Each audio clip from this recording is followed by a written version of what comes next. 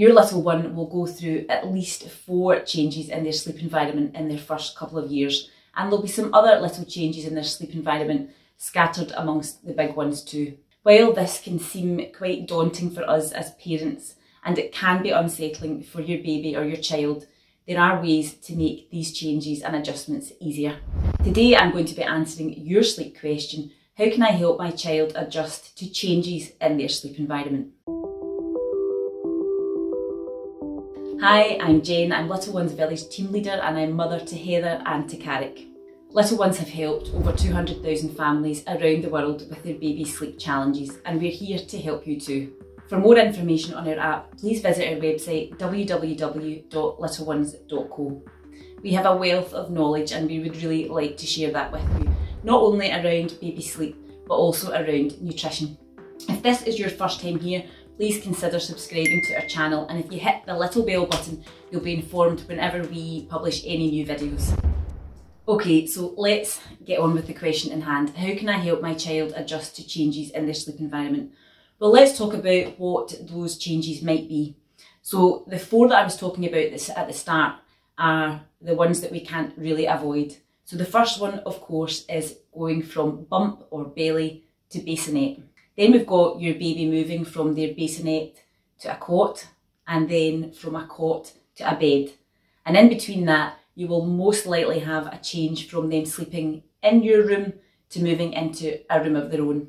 They're the four big ones, but the smaller ones might be your baby coming out of their swaddle, and that will be a sleep association, usually from birth until they start rolling, and then we need to get rid of the swaddle. And the other sort of changes in your baby's sleep environment might just be going from sleeping in their cot in their room to sleeping in their stroller when you're out for a walk, or going to visit gran or grandpa or another carer and staying with them. Even childcare can fall into that sort of bracket of a different sleep environment. So what are some of the things that we can do to make these changes in their sleep environment as easy as possible? Well, we want to make sure that your little one is ready for the change, so there's really no need to rush. But of course, some things will be taken out of your hands we don't have a choice and your baby being born and then you're going to have to help them settle in their bassinet. Eh?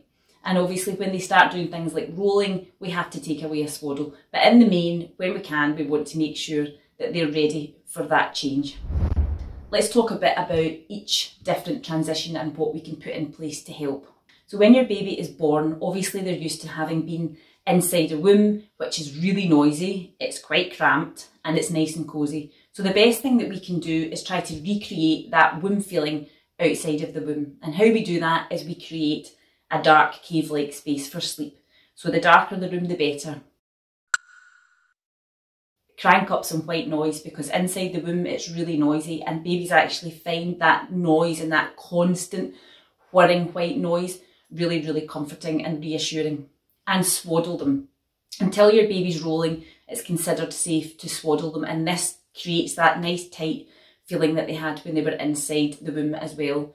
And it also stops their startle reflex. Startle reflexes usually kick in when your little one is going between light and deep sleep. So once they've been asleep for about 10-15 minutes, you might, if they're not swaddled, see their arms flying up above their head and then they can wake up and get quite upset. So if they're swaddled, we inhibit that startle reflex and that kicks in at the beginning of sleep cycles and towards the end. When your little one is showing signs of rolling, we need to remove the swaddle. To make that easier, what we can do is we can take it one step at a time. We can do one arm out of the swaddle for a little while before we move to two arms out of the swaddle, or we could adopt a transitional swaddle like a sleepy hugs where they're still slightly inhibited, but they are considered safe within that type of sleep sack. Another thing to do is concentrate on just perhaps a couple of sleeps in the day first so perhaps the morning and the afternoon sleep for a couple of days before you move on to overnight sleep and lastly their big lunch nap. Usually we say leave the lunch nap to last because that's the most important restorative sleep of the day. And the same also can be said for this sort of slow gradual process if they were moving from their bassinet into their cot. So you could give them a whirl at their cot for a couple of naps during the day before you move to overnight sleep and before you move to the lunch nap.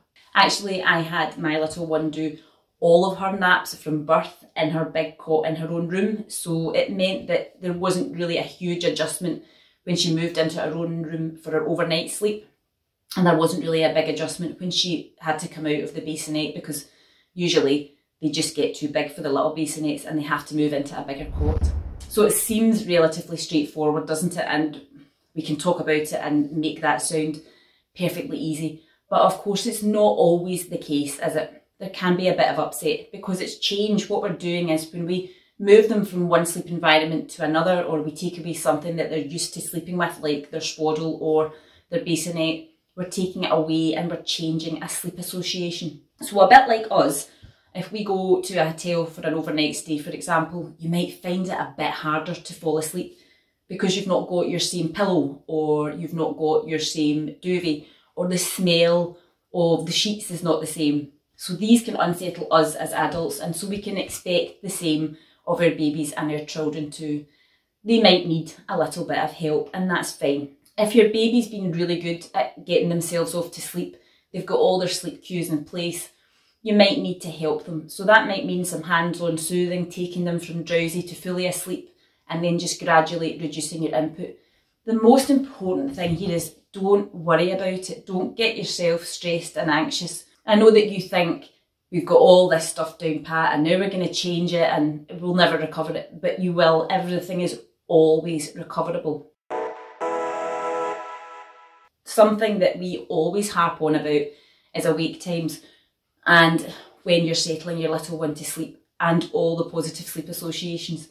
So to make each transition to another sleep environment as easy as possible, you want to have all their ducks in a row. And again, for more information on when your baby should be settling or what positive sleep associations they they need to have or they should have, you can check that out on our app and in the blogs on our website and I'll link a few in the description below.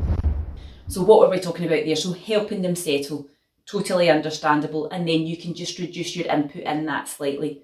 You'll probably find that the start of sleeps will be tricky for a couple of days, but once they get used to that, it will get easier and easier. If you stay positive and you stay calm, your baby will respond to that. If you get anxious about it, they can really tune into how you're feeling and they can start displaying the same sort of feelings and behaviours that you are too. So stay positive, you've got it. Let's talk about another move, will we? Will we talk about moving from a cot to a bed. This is the big one, isn't it, really? Because your child or your toddler, usually by that point, is used to being penned in and they can't get out and they can't come into your room and pull your duvet off and say, come on, I, I, I want in your bed or I want you to come through here. And sometimes when they move from a cot to a bed, we can expect that they will get out of it. A top tip here is really going back to what I said before, make sure they're ready for this move. There is no rush. Unless your toddler or your child is actually climbing out the cot and that's becoming dangerous, keep them in it as long as you can until you think really that they're ready. The older they are, the more the more that they will buy into the concept of this big new bed and the more that they will understand the whole process. You can help them buy into it as well when they're a bit older because their understanding is greater. So they could maybe choose the covers for the bed. They could choose the nightlight. Hopefully they'll be over two years old before they move at least into a bed. And a dim red nightlight for settling and sleep can really help at that point because their imagination's kicking into gear. When you make the move from a cot to a bed, stay calm. if they get out of their bed and they're not upset, keep taking them back. Be quiet, don't fuss about it. It's called a silent return. And by doing that, they just get bored. They realise that if I come out of bed, I just get put back. If I come out of bed, I just get put back. And they just stop getting out of bed. Not necessarily on the first night. You might have to return them 365,000 times, but it gets better day after day, night after night. The need to get out of bed or the thought and the urge to get out of bed will be much, much less. You can also tie in something like a reward chart with that. So rewards in the morning, stars and stickers for staying in their bed at bedtime and overnight.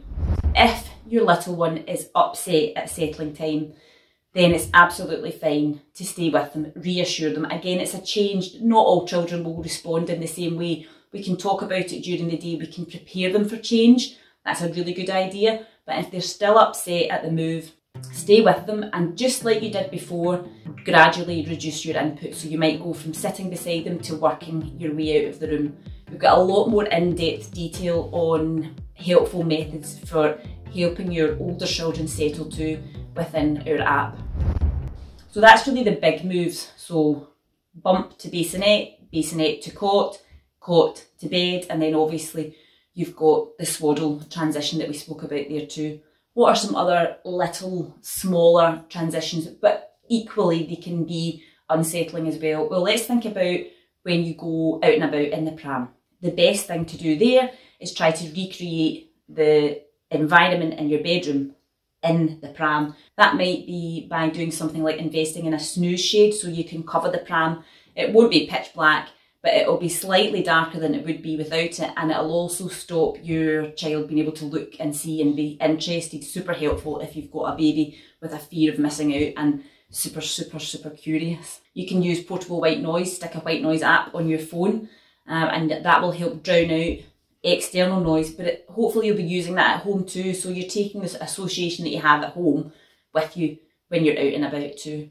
And keep on walking. As your baby or your child moves between sleep cycles, they rouse from a deep sleep into a light. So if you see them rousing and waking up, just keep on pushing the pram, give it a little rock, and hopefully that'll see them through their sleep cycles. The same sort of similar thing can be said for a move to childcare. A top tip for settling in daycare, although you obviously won't need to cover the cot the way you might um, a pram when you're out and about, and the sleep environment will definitely be a bit brighter than it is at home. They get used to that too. So anyway, the top tip is take a slept-on sheet or sleeping bag from home because the smell from home can be really comforting, reassuring and soothing for your little one. Um, and I have used that in the past myself and it has worked a treat. Take a comforter as well from home if you can. If you can buy two and keep one at home and leave one at daycare, then you know that it will always be there. So we've covered a few things today, some of the big moves and some of the smaller um, changes in your little one's sleep environment, which might be more day to day or week to week or month to month.